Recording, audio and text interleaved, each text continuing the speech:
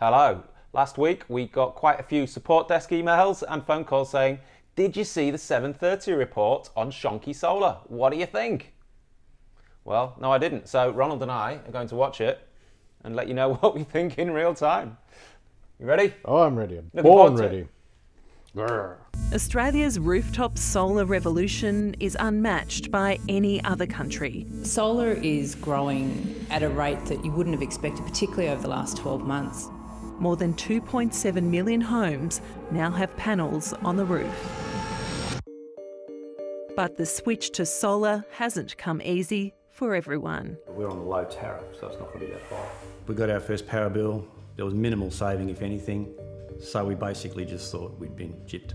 26106 credit. In 2017, a solar salesman told Wayne and Sam Manette they could eliminate their electricity bill. I don't know, but I'm guessing door-to-door salesman. Quite possibly, yes, yes. Um, yeah, you can over a year end up with a credit, get a large enough solar system, but you know, it all depends on the size of a solar system, how much electricity you use, where you are. Be very careful of someone that marches in your house and goes, "Yep, you'll get a zero dollar bill." 'Cause it's not going to be exactly zero. No. It might be negative, it might be positive, but it depends on a lot of things. We've got a calculator on the website that will estimate it quite accurately if you want to double check. Moving on. It was around $12,000. $12,000. Uh, when was this and how large is the system? Uh, I counted the panels, there were 18. Ah, well, that, that's not very large. 6.6 probably. Yeah, and when was this? Like a couple of years ago? Yeah. That sounds like it was an expensive system. It should have been really good. All right, so this is get this is getting the hallmarks of a door-to-door salesman. I'm guessing door knocker. I am guessing got ripped off. Like 12 grand is double what you should pay for a 6.6 kilowatt system, and I'm suspecting really cheap components, but I don't know. Yeah. Uh, let's see what else he's got to say. Oh, you got it through finance. Yeah. Well, Buy now, that's- pay later, probably. Yes, that's really going to kick up the cost. That's the modus operandi of the door knockers. Uh, we'll give you a solar system. It will get your bill to zero. Um, they'll give you a 6.6 kilowatt system because that's the easiest one for them to do. Um, they'll use the cheapest components possible, so they get a nice fat margin. Um, they'll use buy now, pay later finance, so it seems like a reasonable monthly repayment, which masks the fact that you're paying twice as much as you should. Um, and we had no reason to think it was going to be a problem. It's not an easy thing to research, especially. It's not an easy thing to research. Well, I think we, there's a site which has some information on it. I'm not going to sell my own book here. This is the last I'll say on solar quotes, but I've spent the last 12 years of my life putting together a website with mm-hmm. colleagues like Ronald, making it really easy to research. But Especially for the layman. for the layman, But their electricity bill went down less than $20 a quarter. Then in 2019, the local power network called to say the system wasn't feeding any electricity into the grid. so he paid 12 grand for a six kilowatt system, I think. Uh, he got it on finance, and then the system basically didn't stop, never really worked properly, and then ground to a halt completely. Hmm. I googled the maker of the inverter, nowhere to be found. I was getting angry, Wayne's getting angry, and I'm suggesting to Wayne, ring up so and so, and he says, I've had enough. So what should have happened there to Wayne if he'd bought the system off a reputable solar company is as soon as there's a problem with the system, the person responsible for the system and the panel, no matter what the brands, and the inverter, no matter what the brands, is the person you've got the contract with, the person you paid the money to, the solar company that took your money. So it all started with, unfortunately for Wayne, a really bad choice of solar company. The inverter, the crucial piece of technology that converts solar energy to electricity to be used in the home, had failed. Hey Wayne, Kevin, how you going, mate? good to see you again. Good to see you too, bud. Thought we'd come and check out the system, see how it's working. I decided to Now there's some good news. Yes. Wayne's found a good guy. Yes. Who, kn- Kevin Schaefer from Solstra. Mhm. Who knows what he's doing and can actually, you know, hopefully sort things out. We know Kevin. He's a Solar Quotes client, and he's first class. Mm-hmm. So I think this, I think he's going to sort him out. Yes. So I'm, I don't know how I don't know how he found Kevin, but Nice one. You've obviously done your research there, Wayne. Yeah. After being bitten. Yep. Good on you, mate. Yeah. It's just a pity he didn't go to him first. Call someone and just get these solar panels off my roof. I don't have anything to do with it whatsoever. All right. We'll go back to how we had it, and I'll pay the loan off and just consider it as a lesson learned. Yeah, one of the problems that we had last time was that Local installer Kevin Schaefer convinced Wayne he could fix the system by replacing the inverter and making other modifications. The inverter had been installed on a west wall um, in direct sunlight, um, so it had been exposed to the to the sun and the heat, and had failed due to that. Uh, and again, that's a, a poor installation practice. Everything's holding up well up there. Kevin Schaefer believes the training for installers isn't adequate. Just make sure there's no debris in and. You really need to have spent time working in the in- industry with people who have knowledge and experience to get to a point where you can then go ahead and do a, a solar installation on your own or with your own team. Now, um, I'm not going to comment on solar installer training because I'm not a solar installer and I haven't been to the training, so I don't think it'd be appropriate. But what the root cause is that we have some installers doing shitty installs. Now, that's in Victoria. So, the other problem is the inspection regime in Victoria is fundamentally broken. There are crappy systems passing inspections all the time, even though hmm. they're all inspected. They need to get rid of their current system, replace it with one that works, such as one in Tasmania. I suspect you're now going to get lots of people saying, "Oh, we need to come up with all these crazy schemes to protect solar consumers." A solar installa- a bad solar installation is just your classic dodgy tradie problem. Yeah. There's nothing special about solar. Nope. It's a home improvement done by a tradie, and it's an electrical safety problem. Um, if Wayne, if there'd been a proper electrical inspection regime in Victoria, Wayne's, I can't see how Wayne's system would have passed if it was so badly installed that it failed. To, it wasn't working properly to start with, and then it failed completely very quickly after. And hmm. you'll hear people saying you need to you need to do this, you need to do that. We know the solution. Tasmania have solved it. Yes. In Tasmania, there's an electrical inspection for every single solar system that's installed, and here's the crucial part: it's done by the organisation that's responsible for electrical safety in that state, which in hmm. Tasmania is the Department of Justice. In Victoria, last time I checked, I believe they're trying to improve the system, but last time I checked, which was fairly recently, the installers that install the system could choose their own inspector. You can see how that might lead to inspectors passing systems they shouldn't. And they do because it happens all the time. There are hmm. so yeah, it's happening all the time in Victoria. So the solution's there. They're doing it in Tasmania. Yes, they're, they're spending the money on the inspections, but they're doing it poorly. It's just There's, pointless. there's proof it doesn't work. yeah. Now, the other thing they need to do is they need to tie the electrical license, which the, um, the organisation responsible for electrical safety in each state and territory are responsible for issuing. And if you fail too many of these inspections or you make do something really dangerous, you get your electrical license taken off you. Now, for that to work, they need to make it mandatory everywhere in Australia that you need an electrical license, not just to install solar, but to sell, sell solar. Now, that is the case in New South Wales, in ACT, in Northern Territory. Uh, have I missed anywhere out? in SA, where we're sitting. Where they need to fix it is in WA and in uh, Victoria. Victoria is the big one, where we are here. In Victoria, you don't need an electrical license to sell solar. In WA, you don't need an electrical license to sell solar. So even if a retailer is responsible for getting dodgy systems installed, they can continue to sell solar because the electrical license getting taken off the installation subcontractor doesn't affect them. They just get a new electrical subcontractor. So they need to fix that. The Consumer Watchdog says it too is receiving a steady flow of complaints about solar, almost 500 in the first half of this year. The big ones really are misleading representations about what you're actually purchasing, what value you're going to get from it, as well as real concerns around faulty installations. Again, we've got everything in place. You said there's two problems. It's with the retailers making bad promises. Australian consumer law does protect you against that. Um, and then it's about electrical safety. Again, I've given the solution for that.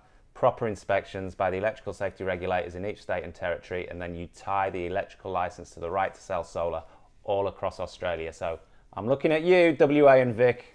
Research the company that you're buying your system from. Make sure they're an approved solar retailer.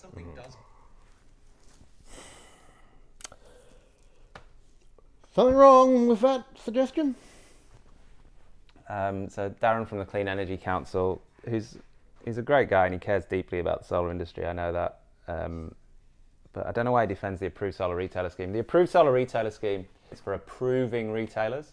It's nothing to do with accredited installers. That's about the electrical safety side of things.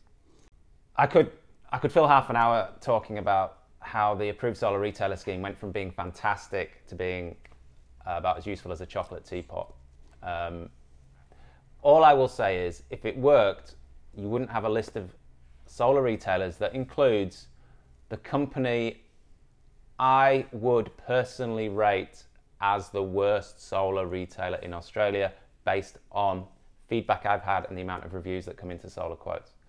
Um, they became a approved solar retailer a year or two ago, and the reviews for them have not improved. Uh, I can't recommend using the, going with an approved retailer. Uh, you have to do research. Yes, there are approved retailers who are great, Hmm. but there are some real stinkers among them. So just because it says approved retailer means nothing. Unfortunately, I wish it didn't. I wish it didn't. I wish at Solar Quotes we could use approved solar retailer as to be very, very confident that those people are good and that they were accountable. But we can't, so we've got to put an enormous amount of effort into vetting them ourselves. I'd love not to have to do that. Last year, the federal government announced a rooftop solar sector review to look at a range of issues, including the accreditation process for installers and protecting consumers from inappropriate sales and poor installations. That review is yet to be released. Accredited solar installers, that's basically about the training. Mm-hmm. I think that's actually really good.